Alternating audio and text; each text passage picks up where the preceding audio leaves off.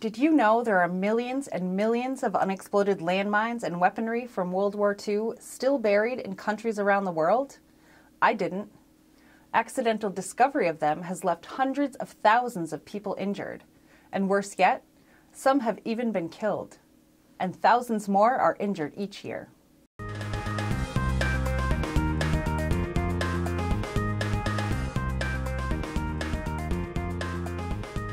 Hello, I'm Justine Murphy, and this is Light Matters for April 2017. It's been more than 70 years since the Axis powers surrendered to end World War II, but the memory has been kept alive through photos and stories, and apparently, even battlefield remnants.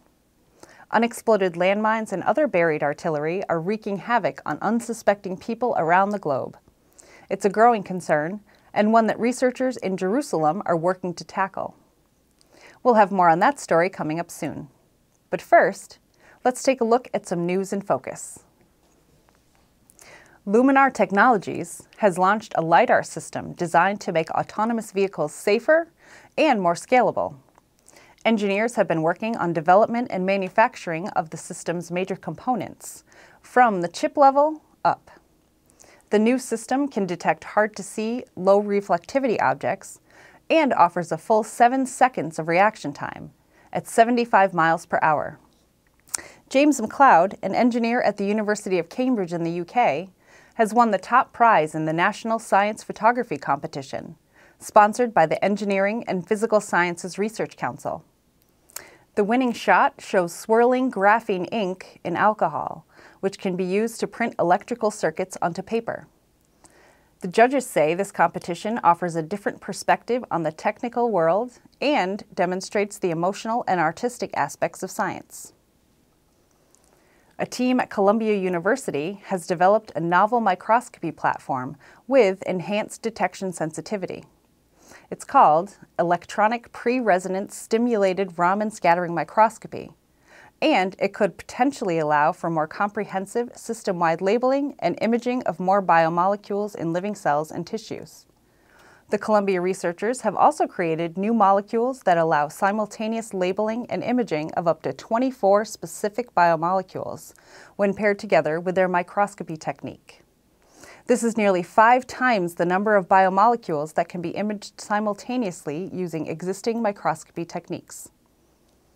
The American Institute for Manufacturing Integrated Photonics, more commonly known as AIM Photonics, is working with the U.S. Department of Defense to develop sensors for integration in environmental monitoring, detection of chemical and biological weapons, disease diagnosis, and food safety. It's a hefty project that focuses on the development of manufacturing blueprints for photonics-based transducers that will identify a wide range of chemical or biological targets. Those involved with the project say that integrated photonic sensors represent a big and fast-growing market, so this work should help to further advance the technology. AIM Photonics is also gaining a partner in IBM, as the technology company joins the AIM consortium. This collaboration should provide a path for the development of new technologies and products within the integrated photonics manufacturing ecosystem. There's a new material in town, and it could drastically reduce the costs associated with cleaning chemical spills, remediating old industrial sites, and detecting things like radioactive contamination in drinking water. This new material is called PCM22 and was developed by a team at the University of Texas at Austin. It's a crystal made of lanthanide ions and triphenylphosphine. When a chemical bonds to the material and a UV light shines on it, the material emits specific colors of visible light. Each chemical produces a unique eight-factor signature of color and brightness that can be used to identify and quantify it in an uncharacterized sample. The research team envisions coating the new material onto disposable paper dipsticks, dropping them into an uncharacterized substance, and then putting it into a UV reader that will indicate what components are in the substance based on the colors of light emitted. PCM22 can already distinguish ordinary drinking water from water that's used in medical and research imaging. The researchers say this is pretty simple too. Potentially making it easier for government agencies to detect the presence of radioactive contamination in drinking water or other bodies of water like lakes and rivers. Millions of unexploded landmines and weaponry from World War II are still buried in countries around the world, and hundreds of thousands of people are injured from them every year. Now, efforts by a team at the Hebrew University of Jerusalem to detect and remove these explosives are making this much needed work more sophisticated and safer. According to Aharon Agranat, a professor at the Hebrew University who is among those leading this research, this is a fast growing worldwide humanitarian issue.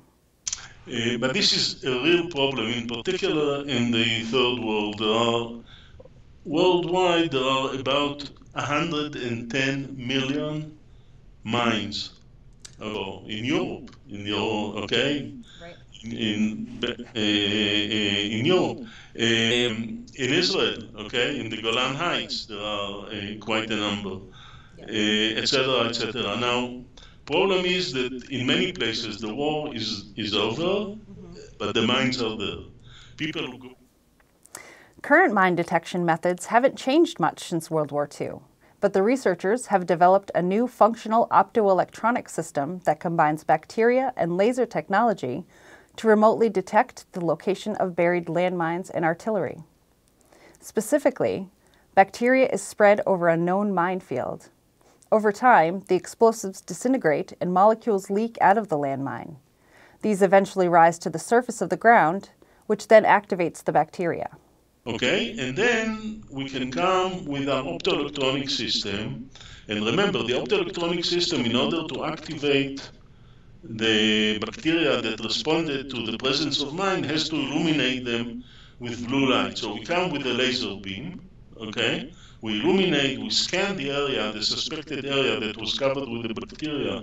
We, we come with a, a blue laser beam, okay? And we measure the green light that is emitted from this RF. We see that there is a significant signal of green light, we say there is a mine underneath. On the surface, if there are the bacteria, okay, it activates the bacteria, the bacteria start to work, they produce GFP molecules, and now we come with the laser beam and cause these GFP molecules to emit green light. Despite the strides made in this research, Agranat says there's still more work to be done. And at this point, that what we did was a proof of concept. It's not the development of a mature technology. There's a long way to go. But what we showed, I think the importance of what we showed, that we can bring all the necessary elements for this to work to operate in unison and produce a result. Once again this year, Photonics Media will be at CLEO, the International Forum for Scientific and Technical Optics. And once again, we're proud to sponsor the event's Tech Transfer program. If you're not familiar with Tech Transfer, it's a platform for entrepreneurs to showcase their technology, learn about things like how and where to find funding options, and learn the next steps towards commercialization. The program is May 18th and moderated by Giacomo Vacca, president of Kinetic River Corporation. If you're attending CLEO, this is a great program to add to your calendar. You can find more information at cleoconference.org. Well, that's it for this month's show. Thanks for joining us. You can get all of the latest and coolest industry news and so much more at photonics.com. And while you're there, check out our Photonics Media bookstore, where we're adding new resources, books, and webinars. Don't forget to follow us on social media too. Let us know what's going on, and if there are other things you'd like to see on Light Matters, let us know that too. We definitely want to hear from you. Until next time, keep following the photons.